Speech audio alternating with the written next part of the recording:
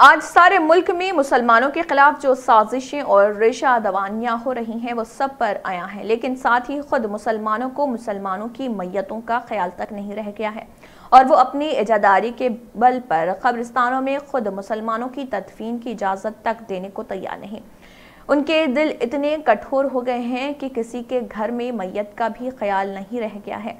इसी तरह का एक शर्मनाक वाक़ हमारे अपने शहर में पेश आया, जहाँ खस्मतपुर राजेंद्र नगर में एक मुस्लिम शख्स को कब्रिस्तान में तदफीन की महज इसलिए इजाज़त नहीं दी गई थी क्योंकि वो इस इलाके के कदीम साकिन नहीं थे, बल्कि नए मकिन थे।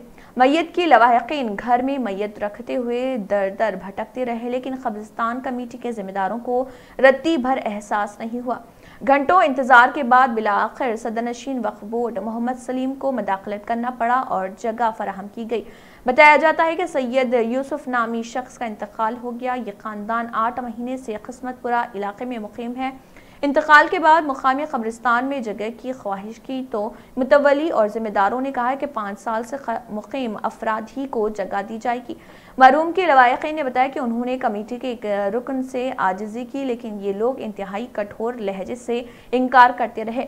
वक्फ बोर्ड की ताल्लुक से भी नाजिबा रिमार्क्स के इब्तदा में पुलिस की मदाखलत भी बेकार साबित हुई। इतला मिलने पर मोहम्मद सलीम सदनशीन वक्फ बोर्ड तेलंगाना ने मदाखलत की और फौरी तदफीन का हुक्म दिया। सदनशीन वक्फ बोर्ड मोहम्मद सलीम ने कहा है कि वक्फ बोर्ड की जानब से मुतवली और खबरस्तान कमेटी व जिम्मेदारों के खिलाफ सख्त कार्रवाई की जाएगी। मोहम्मद सलीम ने कहा है कि शहर ही नहीं, सारी रियासत में ऐसी किसी भी हरकत को बर्दाश्त नहीं किया जाएगा।